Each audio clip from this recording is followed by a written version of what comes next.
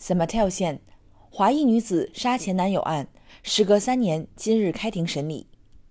今日上午九点半，被控谋杀的华裔女子 Tiffany Lee 和男友 k a f a y a t 在 San Mateo 县上庭，将由陪审团决定他们是否犯有谋杀罪。预计审判结果将在几个月后公布。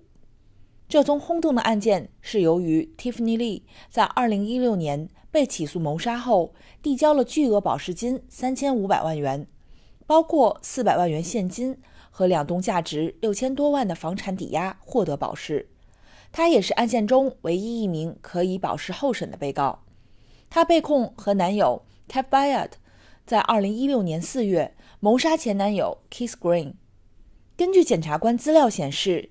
Tiffany Lee 负责策划了这起谋杀事件，而她的男友则负责执行。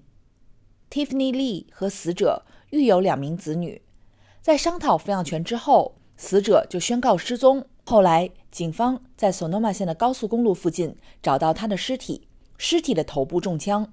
于是，警方搜索了 Tiffany Lee 位于 Hillsborough 市的豪宅，搜集到足够的证据，将她和男友。K a f i r e d 还有他的格斗教练 Olivia Adela 拘捕。随后，他的教练选择不抗辩，并转做控方的污点证人，指控 Tiffany Lee 和 k a f i r e d 天下卫视记者陈红佳报道。